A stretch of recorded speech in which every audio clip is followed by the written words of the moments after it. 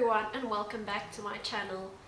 I am excited to be filming again. It's been a little while, it feels like it's been forever, but yes. So today I'm going to be talking about bedding options for your chinchilla cage. Now a while ago I came across a Facebook post of someone who said chinchillas don't need fleece in their cage and it was kind of obvious that they wanted to start an argument about it um, because fleece is the most popular option or the most popular choice that people use to line their chinchilla cage with. So in today's video I want to tell you about the different options you have because yes fleece is the most popular but you do have other options if you don't want to use fleece.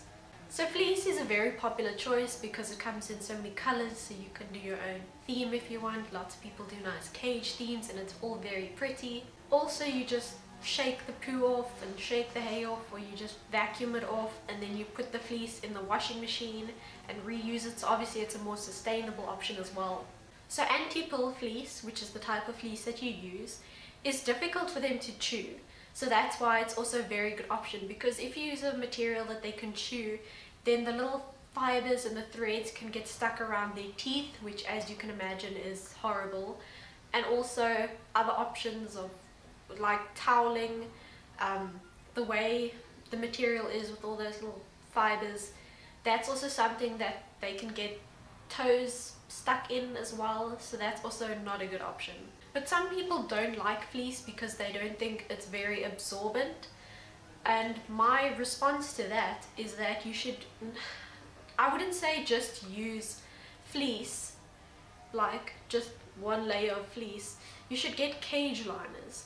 So it'll be like a little, I don't know, think of it as like a little duvet. So you've got the fleece and in the middle there's an absorbent layer that like toweling or when people make their own cage liners, sometimes they um, put in what's like known in America as that U-Haul fabric or those it's basically those moving blankets you know when you move house and they put those grey blankets over your furniture so it doesn't get damaged that stuff um, and that's also quite cheap so you know that's what you would use to make it more absorbent and also in that case that material, the toweling or those moving blankets is in between the fleece so they can't get to that and they can't chew that. So I have made my own cage liners and that before.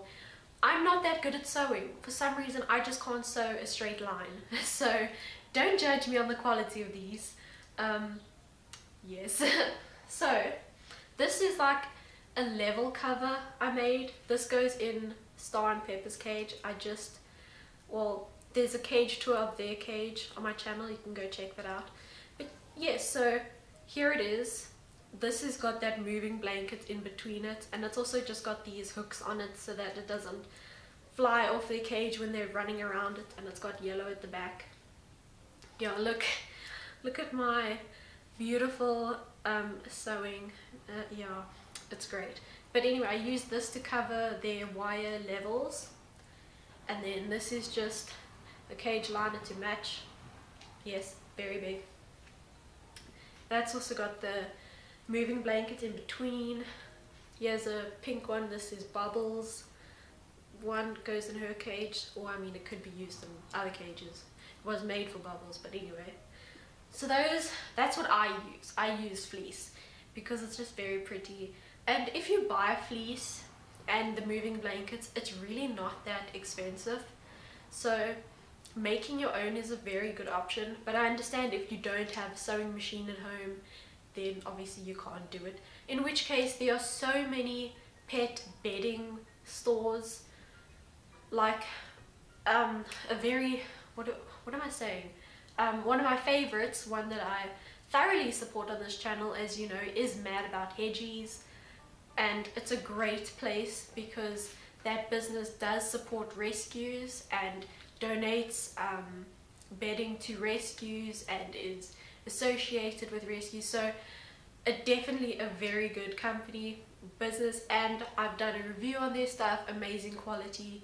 So check them out okay so moving on from fleece the next bedding choice is wood shavings so I've heard of people using pine shavings um, it's kind of a controversial topic as you would know.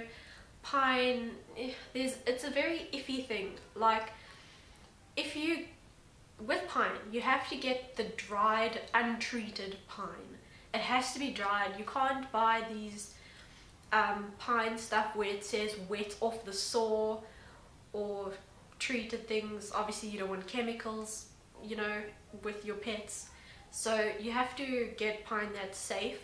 And then even if it's that dried and untreated pine, then some people are still there's a whole debate whether it's still safe because it could cause respiratory um, infections and stuff.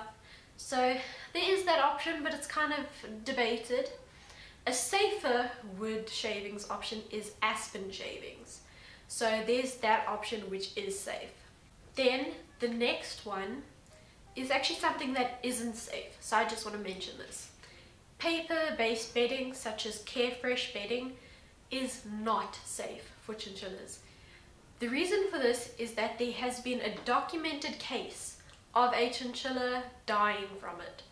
They ingested the bedding and it, because um, the paper-based bedding is supposed to absorb, you know, moisture and that from, you know, when your animals pee on it, when it was ingested, it um, expanded in the chinchilla's stomach and then that's how the chinchilla died. So that's why paper-based bedding, Carefresh, is a big no-no for chinchillas. And then with that, some people would say, oh, but if I put it in the litter box and it's got like a wire mesh on top, then they can't get to that. And I understand that, but then it's also kind of a, a thing where it's like, but it's got the wire mesh, which, is kind of risky because they can get toes and feet stuck into it. But then people say, yeah, but they're not on the litter box most of the time. It's only when they go there to pee. Mm, but yeah, that, that's a different topic.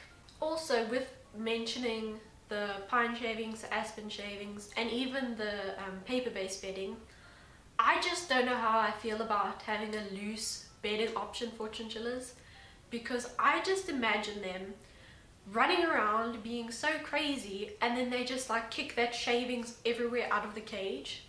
So if you don't have some kind of um, little poop guard on the bottom of your cage, that bedding is going to be all out of your cage. Yeah, so I, I don't see that working. But if you have some kind of barrier, then that could work. But also if you have like um, a cage that has a plastic bottom, then when they kick that substrate around, then they have access to that plastic which they can then chew. So there's also that. The next bedding option you have is tile. So tile is very nice because it is easier to clean. Um, you know, you'll just sweep the poo off and then you, if you have a litter box that works nicely, if your chinchilla isn't litter box trained then it's kind of eh because they'll pee on the tile and then become like sticky and not nice. So that you got to think about that. But a lot of people really do like tile, um, you know, because it's just easier than having fleece. Because with the fleece, like you you have to brush all the poo and the hay off. So it's kind of like a lot of effort to people.